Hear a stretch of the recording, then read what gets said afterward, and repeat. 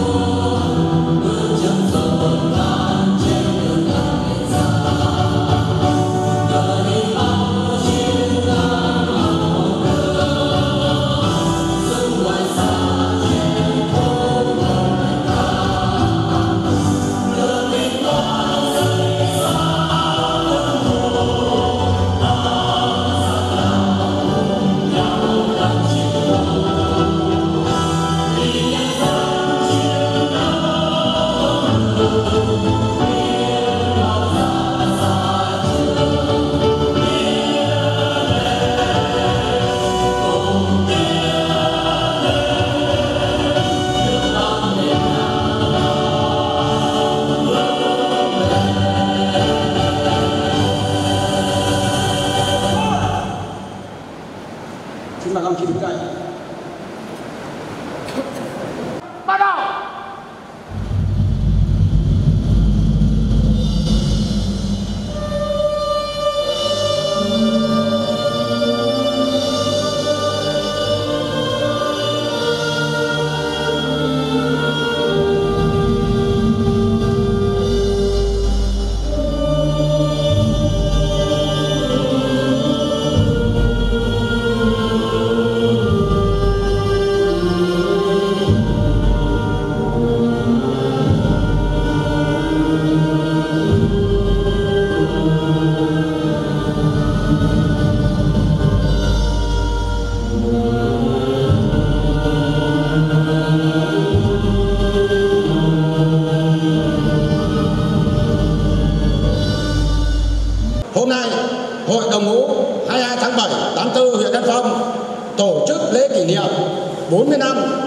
nhiệm vụ 22 tháng 7 năm 1984, 22 tháng 7 năm 2024. Về dự lễ kỷ niệm, ban tổ chức xin trân trọng giới thiệu đại diện có thủ trưởng thiếu tướng phạm thanh sơn nguyên phó tư lệnh tham mưu trưởng quân khu 1 đề nghị hội nghị nhiệt liệt chúc mừng về dự có đồng chí thượng tá Lê Đình Trúc, trưởng ban tham mưu hậu cần Bộ Chỉ huy quân sự tỉnh Bắc Ninh đề nghị hội nghị nhiệt liệt chào mừng. Về dự với hội có đồng chí Trương Văn Thường, Phó ban liên lạc Hội cựu chiến Hội cựu chiến đấu sư đoàn 3 thành phố Bắc Ninh, tỉnh Bắc Ninh đề nghị hội nghị nhiệt liệt chúc mừng. Về dự có đồng chí Lê Khang, phòng chính trị sư đoàn 3 về chụp ảnh đưa tin quay phim đề nghị hội nghị nhiệt liệt chúc mừng về đại biểu xã Dung Điệp, tôi xin trân trọng giới thiệu đồng chí Nguyễn Công Huệ chủ tịch cựu chiến binh xã Dung Diệt thay mặt cho đảng ủy hội đồng nhân dân ủy ban nhân dân ủy ban mặt trận về dự đề nghị hội nghị chúc mừng về thôn tôi xin trân trọng giới thiệu có đồng chí Nguyễn Hữu Đoàn chi hội trưởng cựu chiến binh thôn A Lạc à, thôn Lạc Trung đề nghị hội nghị. Nhiệt liệt chúc mừng. Về dự buổi lễ hôm nay còn có các đồng chí nhập ngũ 22 tháng 7 84 cùng phu nhân của các đồng chí đề nghị hội nghị. Nhiệt liệt chúc mừng. Tiếp theo chương trình tôi xin trân trọng và kính mời đồng chí Nguyễn Văn Đà hội trưởng hội đồng ngũ 22 tháng 7 84 huyện Yên Phong lên thông qua một số hoạt động của hội. Xin trân trọng kính mời đồng chí.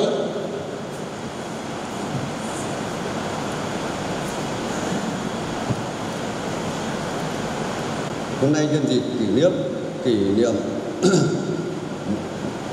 94 năm ngày thành lập Đảng, 79 năm ngày Quốc khánh, 80 năm ngày thành lập Quân đội Nhân dân Việt Nam và kỷ niệm 134 năm ngày sinh nhật Bác Hồ. Hôm nay, ngày 22 tháng 7 2004, Hội đồng ngũ nhập ngũ ngày 22 tháng 7 năm 1984 long trọng tổ chức buổi lễ kỷ niệm 40 năm ngày nhập ngũ và 37 năm ngày xuất ngũ trở về quê hương. Cách đây 40 năm, những người con quê hương Yên Phong, Hà Bắc hăng hái tình nguyện lên đường bảo vệ tổ quốc. Người đời, người rời tay quốc, tay cày, người rời bút kiêm chia tay cha mẹ, già, vợ yêu. Cùng bạn bè yêu mến đi lên đường bảo vệ từng mảnh đất thiêng liêng của tổ quốc. Qua quá trình công tác các đồng chí công tác tại tỉnh Lạng Sơn và mặt trận Vị Xuyên, Hà Tiên đầy máu lửa. Trong những quá trình công tác trong quân ngũ các đồng chí luôn luôn phấn đấu giữ gìn phẩm chất anh bộ đội Hồ luôn hoàn thành tốt mọi nhiệm vụ được giao các đồng chí đã được đơn vị tặng nhiều giấy khen và bằng khen. Hoàn thành nhiệm vụ được giao và xuất ngũ trở về quê hương các đồng chí lại tích cực phấn đấu trên mặt trận sản xuất, nông nghiệp và làm kinh tế thời kỳ mở cửa, làm cho kinh tế gia đình và kinh tế quê hương ngày càng đổi mới. Về đời thường các đồng chí đối với vợ, các đồng chí là người chồng yêu quý, suốt đời thủy chung, sắc son vẹn tình vẹn nghĩa. Đối với các con, các đồng chí là người cha mẫu mực, dẫn dắt chỉ bảo, căn dặn, chăm lo cho con lên người. Đối với các cháu là người ông, hiền hòa đức độ. Đối với đồng chí, đồng đội, xóm làng các đồng chí, sống chân tình, hòa đồng và thường xuyên giúp đỡ mọi người. Mong các đồng chí trở về quê hương luôn luôn được phẩm chất bộ hồ. Tôi uh, xin phép và chúc uh, tổng trưởng và các Vâng, uh, ban tổ chức chúng tôi uh, xin uh, cảm ơn uh, ý kiến uh, phát biểu của đồng chí uh, Nguyễn Văn Đà, hội trưởng hội đồng ngũ đã thông qua một số hoạt động À, của hội và thay mặt hội à, chúc đồng chí và gia đình luôn mạnh khỏe, hạnh phúc và thành đạt. Tiếp theo à, chương trình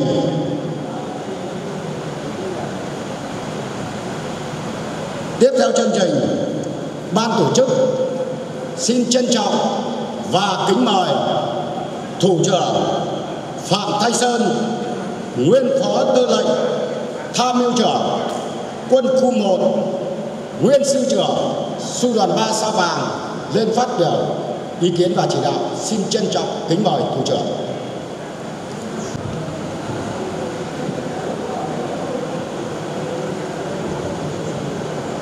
À, kính thưa đồng chí à, lãnh đạo cấp ủy chính quyền địa phương. Kính thưa anh tổng.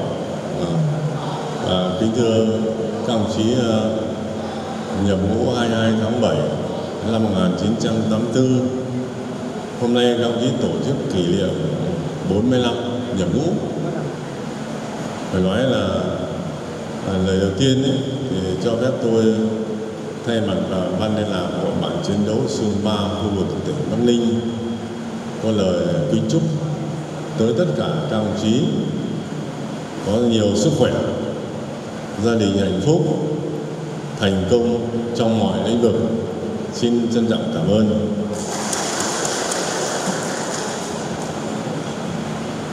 À, kính thưa toàn thể các đồng chí, à, các đồng chí nhập ngũ 22 tháng 7 năm 1984 là một giai đoạn giữa của chiến tranh biên giới. À, đất nước ta xác định chiến tranh biên giới là từ năm 79 đến năm 89.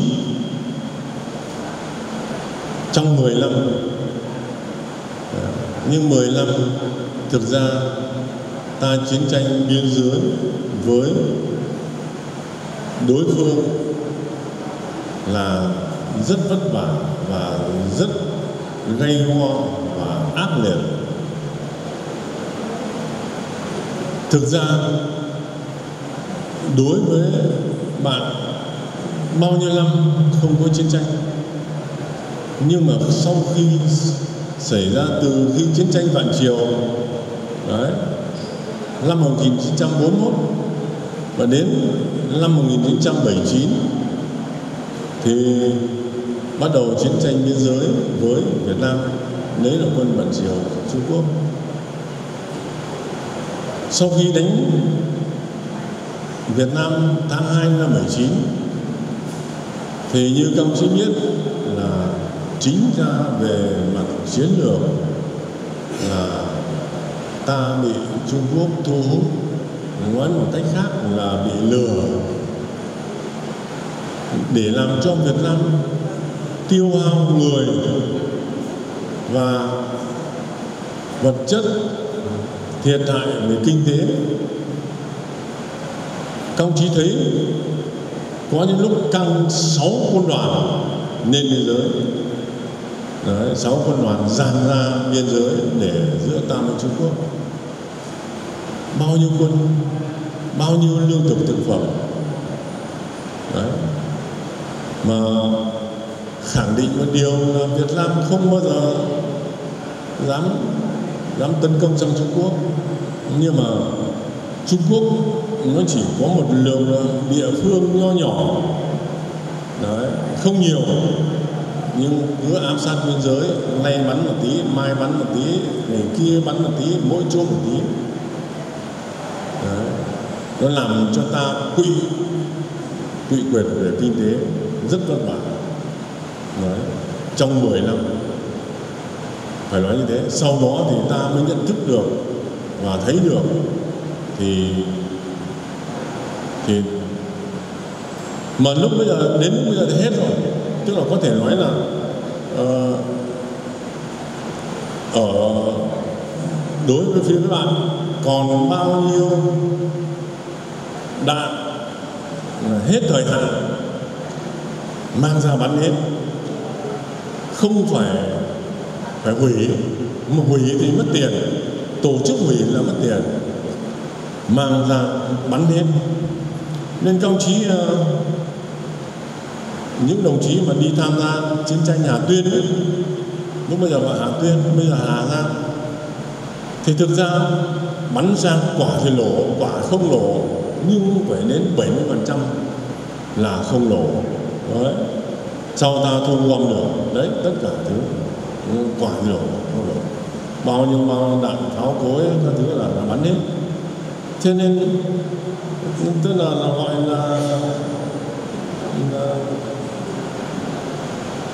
nó đưa ra một một cái lượng vũ khí coi là là hết hạn rất chỉ nhiều nói như thế để công chí thấy được đấy đấy, đấy là, là, là mặt chiến lược về à, ta ta bị bị bị thu hút vào vào cái đấy. Thường có chiến tranh đầu tiên đầu tiên, quan điểm của phía bạn là là làm cho chúng ta khó khăn về kinh tế và ừ, lấn chiếm gặm nhấm biên giới. Đấy. Năm 84 khi công chí nhập ngũ là là chiến tranh ở Lạng Sơn là đánh bình độ 400 vừa rồi chúng tôi ban liên lạc của tỉnh đi lên uh, thăm và, và và từ khi công chí khánh thành cái, cái nhà tưởng niệm ở trên bình độ 400 đấy là chúng tôi cũng chưa lên được. Thế vừa rồi là tôi đồng chí tường và ban liên lạc tỉnh lên thăm. Đấy năm 1984 thì ta với Trung Quốc đánh nhau ở trên bình độ 400 chỉ có một cái bình độ khoảng uh, độ mưa hơn hơn 10 hecta khoảng khoảng 19 20 hecta 22 hecta nhưng mà các ông chí thấy là cả cả quân khu cả bộ đấy, dồn quân vào đấy đánh ở đấy pháo kéo từ dưới lên đến lạng sơn đấy nên đến hải yến phi hải, đặt ở đấy bắn vào. Không biết bao nhiêu pháo là ờ, lùi lúc sau lúc ta là bùn cái đất bột nó lên, đi lội, nó sụp lên lên gần đầu gối. Đặc công thì đánh lên được nhưng mà ờ, bộ binh không theo lên được, coi là đánh xong, đặc công lại tụt xuống, lại về thì coi là trung quốc lại lại lại lên đấy, lại giữ. Đấy. Sau cuối cùng thì cũng tự rút thôi tự rút. Trung quốc cũng tự rút. Đấy thì, thì, thì ta rất mất rất nhiều. Hôm trước thì họ tính là uh, không không không thống kê được số lượng. Mà không thống kê được số lượng của các đồng chí hy sinh ở đấy. Và trên mình độ 400 thì như thế.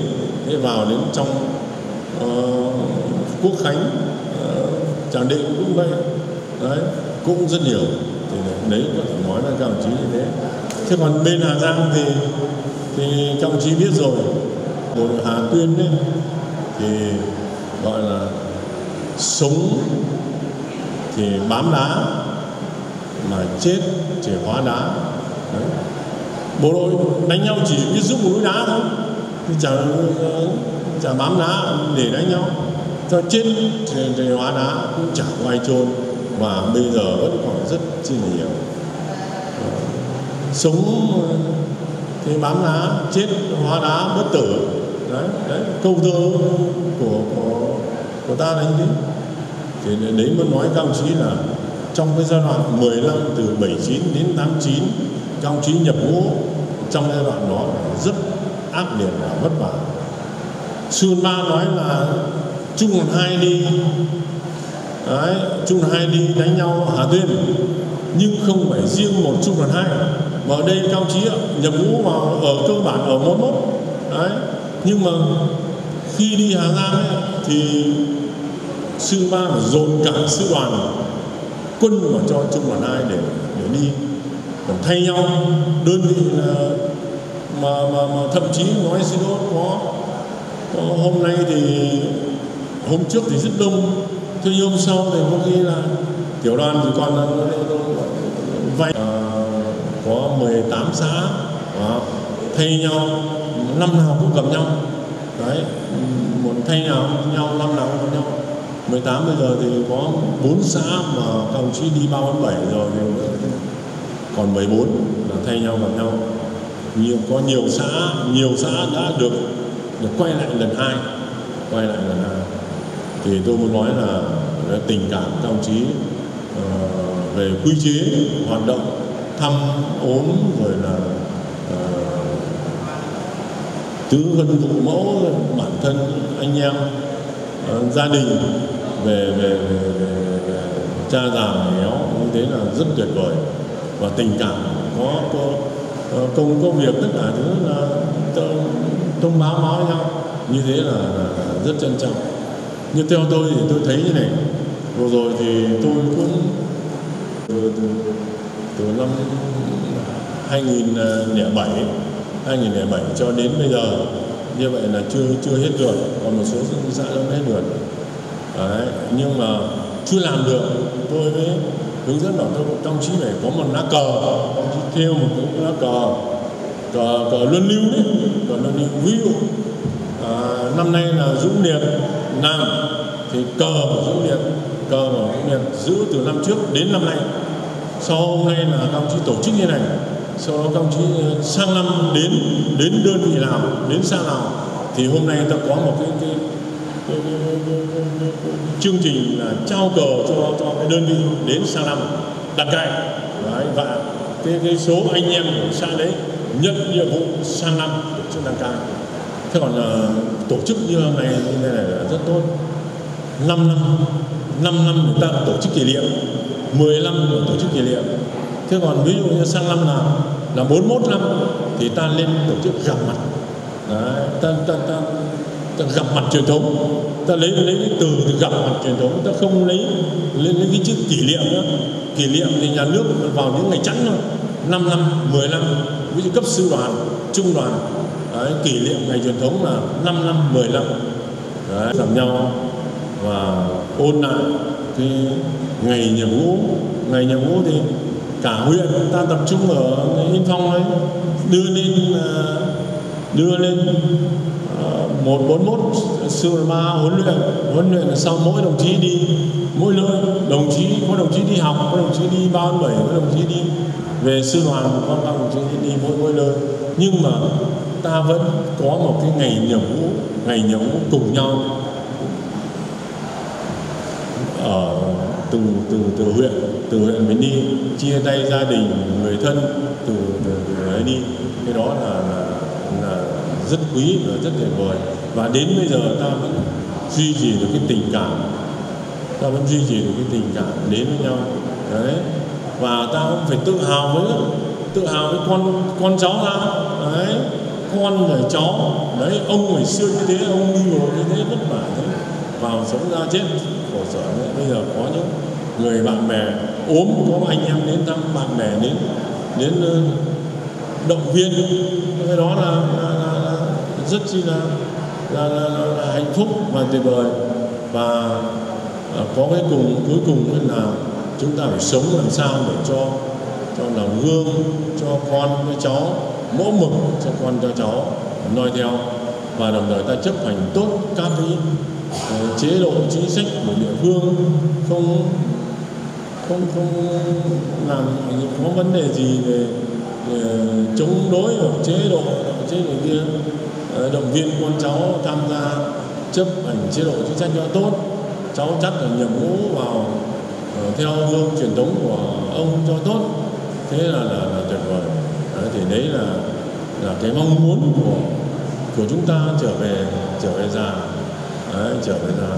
Và đồng thời là uh, như thế thì mới mới, mới, mới, mới xứng đáng là anh bộ đội cụ hồ ở trên bất cứ lúc nào và đến chết vẫn vì dân vì nước và vì đồng đội vì bạn bè vì anh em. Đấy, thì đấy là xin có một đôi lời tâm sự và chia sẻ với các đồng chí như vậy. Cuối cùng thì à, xin à, chúc à, các đồng chí cấp ủy lãnh đạo chính quyền địa phương tiếp tục phát huy truyền thống và xây dựng quê hương ngày càng giàu đẹp hơn. Chúc anh toàn, luôn luôn có nhiều sức khỏe và chúc tất cả các đồng chí của chúng ta là có nhiều sức khỏe gia đình hạnh phúc và thành công trong cuộc sống. Xin cảm ơn. À, ban liên lạc à, hội bạn chiến đấu sư ba có chút quà. À, xin à, tặng. Lên sân khấu để chúc mừng. Được đồng chí đàn và ba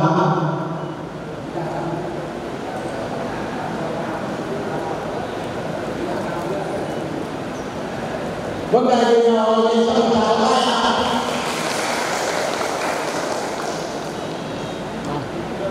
vâng xin xin cảm ơn đồng chí. Vâng à, thay mặt cho ban tổ chức xin à, chân thành cảm ơn lời phát biểu của thủ trưởng phạm thanh sơn. Chúc thủ trưởng và gia đình luôn mạnh khỏe, hạnh phúc và thành đạt. Vâng đến với chương trình, đến với hội, ban tổ chức, chúng tôi xin trân trọng và giới thiệu có thủ trưởng nguyễn quốc toản nguyên tiểu đoàn trưởng tiểu đoàn 8 trung đoàn 141 về dự đề nghị hội nghị nhiệt liệt chúc mừng.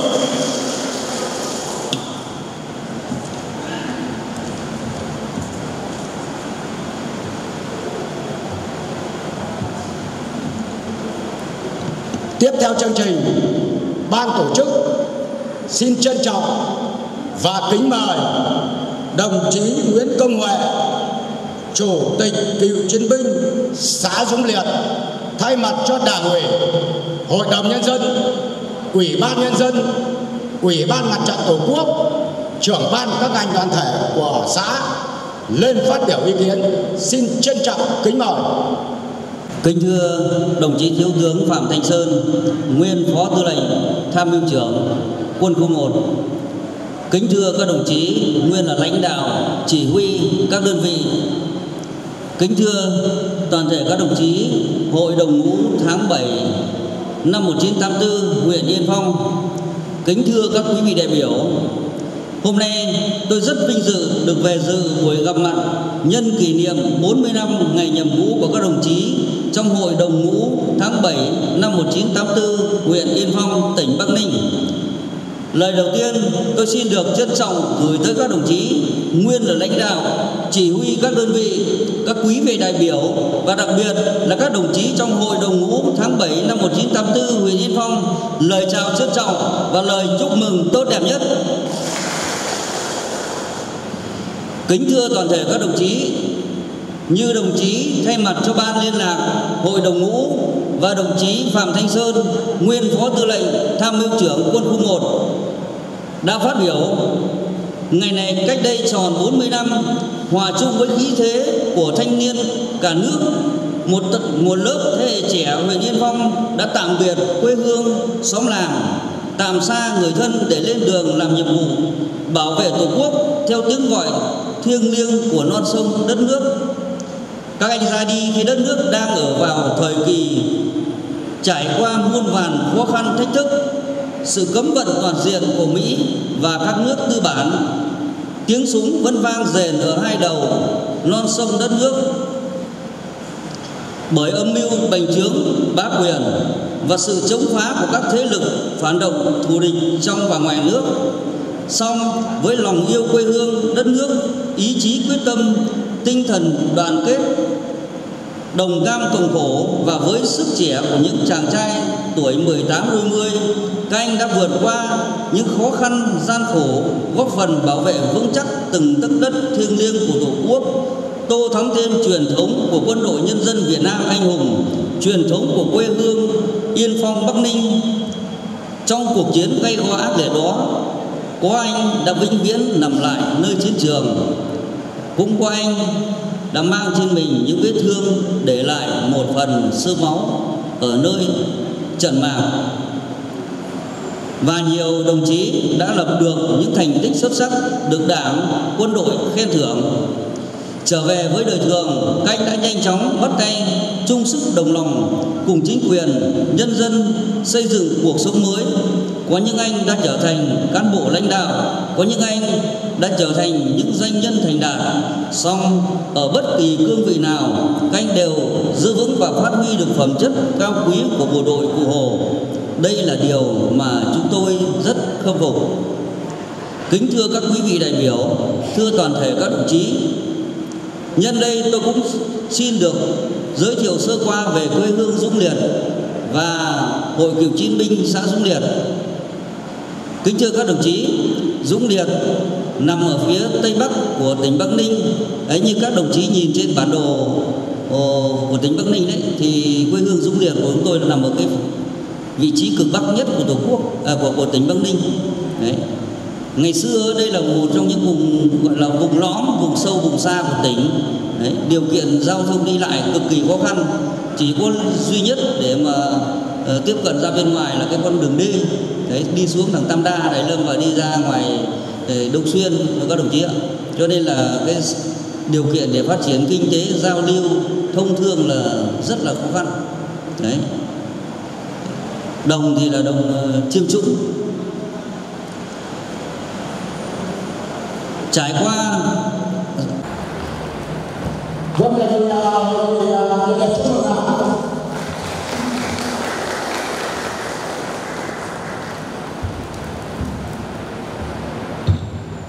Lạc Trung có bó hoa tươi thắm lên chúc mừng đề nghị đồng chí Nguyễn Văn